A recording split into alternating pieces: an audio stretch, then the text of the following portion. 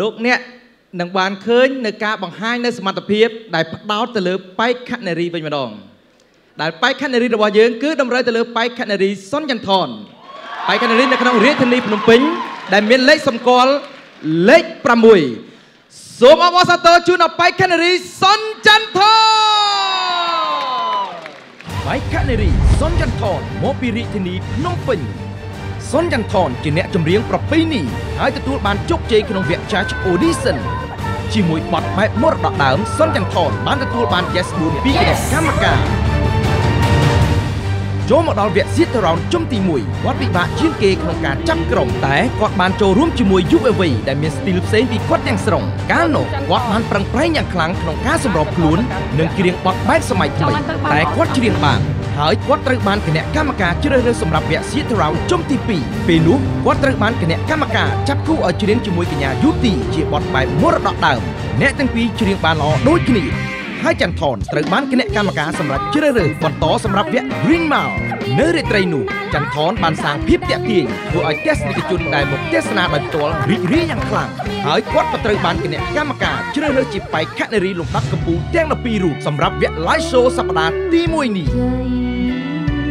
ចាប់តាំងពីនាងខ្ញុំចាប់ផ្ដើមចូលប្រឡងប្រឡងនៅកម្មវិធី Cambodian Idol តាំងពីវគ្គដំបូងជំរុះលើកទី1នៅកោះពេជ្រនិងរហូតមកដល់ពេលឥឡូវនាងខ្ញុំអាចធ្វើបានក៏ដោយសារការខំខំប្រឹងប្រែងខ្លួនឯងផងនិងការជួយជំរុញលើកទឹកចិត្ត ពីក្រុមការងារក៏ដូចជាលោកគ្រូភ្លេងដែលបានផ្ដល់ជាបទពិសោធន៍សុនចន្ទថនមានការតាំងចិត្តខ្ពស់សម្រាប់យុគនេះចាំមើលនាងច្រៀងបានល្អកម្រិតណាសម្រាប់ចម្រៀងបទនេះនាងខ្ញុំនឹងខំប្រឹងប្រែងធ្វើយ៉ាងណាដើម្បីច្រៀងទៅឲ្យបានល្អឲ្យទស្សនិកជនបោះឆ្នោតគ្រប់គ្រងរូបនាងខ្ញុំដើម្បីឲ្យនាងខ្ញុំបានទៅដល់វគ្គបន្ត Cambodian Idol វគ្គ Live Show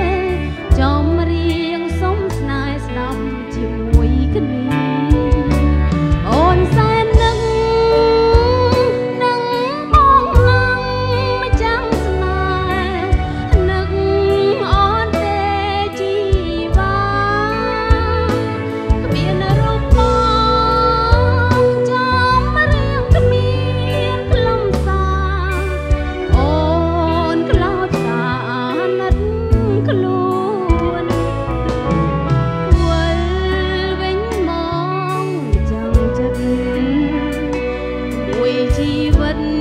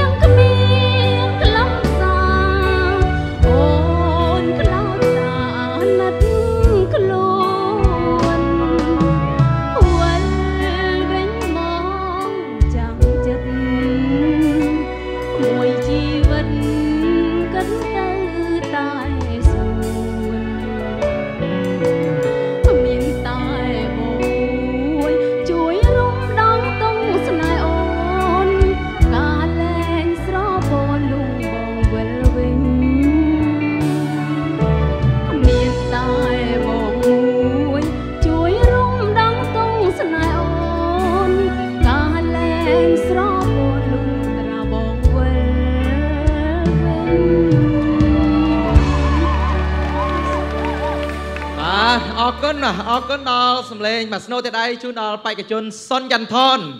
ស្គាល់គាត់អត់បាទជំរាបសួរអូយបាទថ្ងៃនេះមើលទៅខ្មៅស៊ីជាមួយធីការនីចាមិនដែរពេញចិត្តនៅការច្រៀងរបស់ខ្លួនឯងទេចិនថន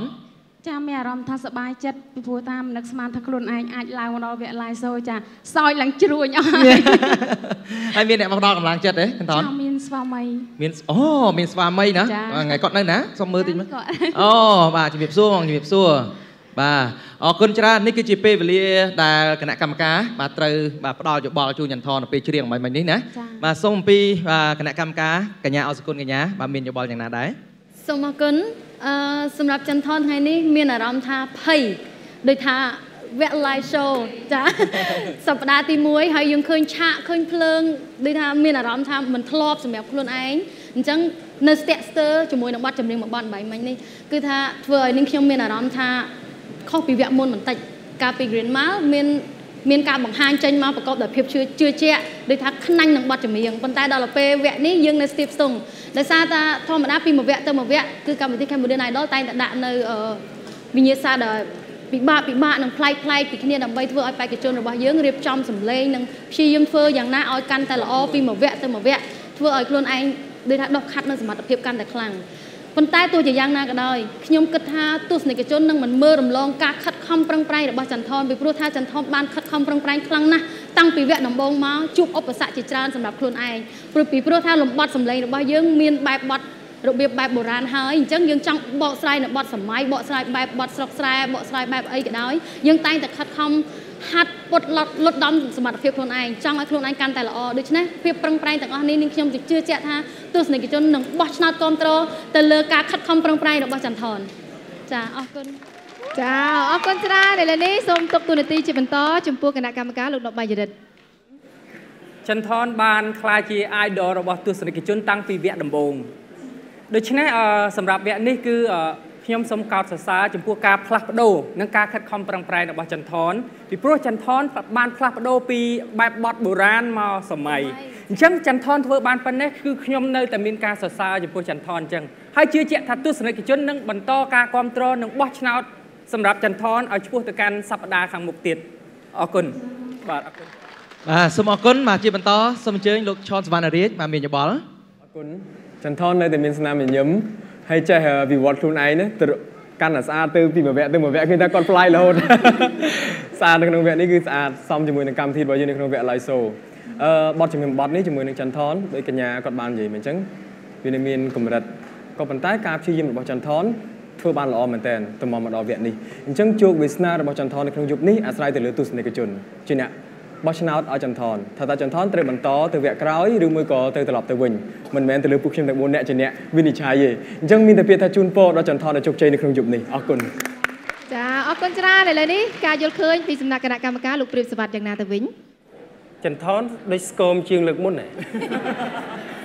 អេបាទរៀងរៀងរៀងមើលទៅរៀងស្លីមរៀងស្អាតមិញនឹងជ្រៀងមិញនឹងគឺស្វាមីជួយវាយកណ្ដងទៀតណា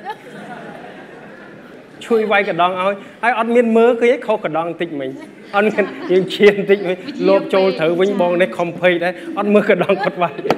ជួយវាយអរគុណណាស់ចន្ទថនមានភាពអឺមើលទៅហាក់ដូចជាថ្ងៃនេះចន្ទថនដូចរៀងសពិចសពិលខ្លួនឯងបន្តិចក្នុងការប្រើប្រាស់នៃសម្លេងប្រហែលជាអារម្មណ៍តែបើសិនជាយើងមើលសមត្ថភាពផ្ទាល់វិញចន្ទថនល្អជាងនេះសមត្ថភាពដែលដែលដែល